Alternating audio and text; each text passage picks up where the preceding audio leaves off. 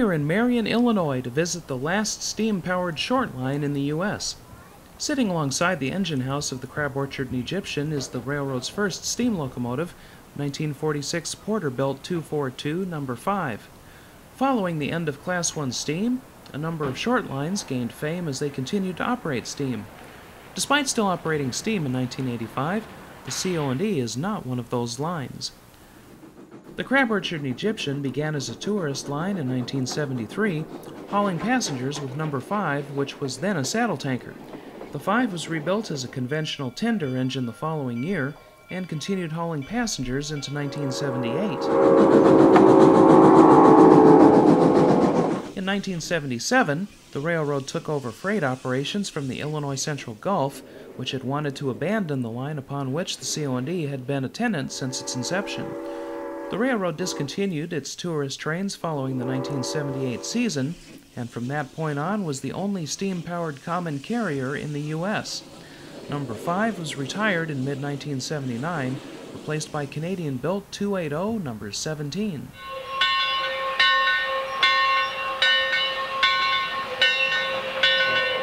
The train stops briefly while the brakeman closes the gate at the Union Pacific Diamond before the train continues west.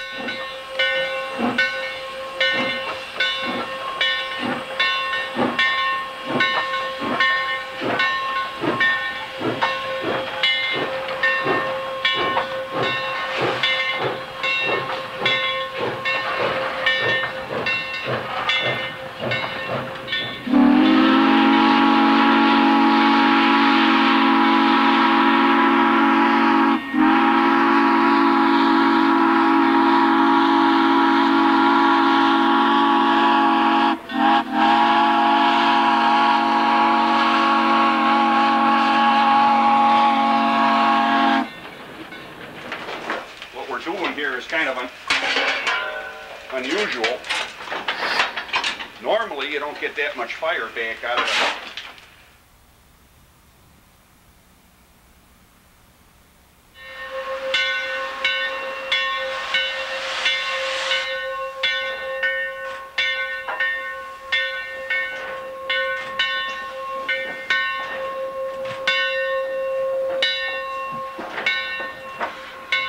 With empties spotted and loads tied to the tender, number 17 heads back downtown.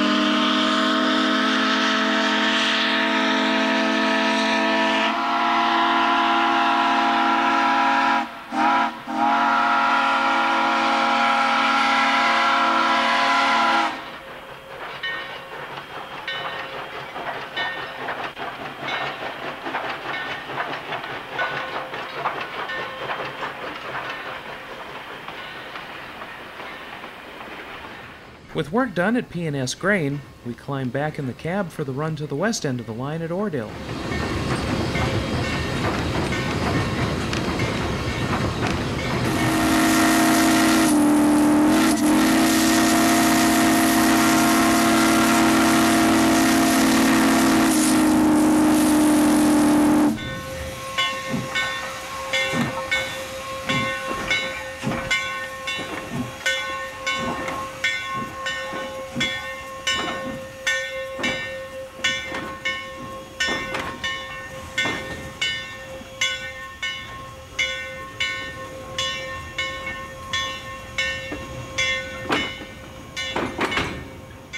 Number 17 crosses the UP at Marion. A little over six months later, she would be replaced by diesels after suffering a mechanical failure. A quarter century after the end of mainline steam, The steam era would in fact be over.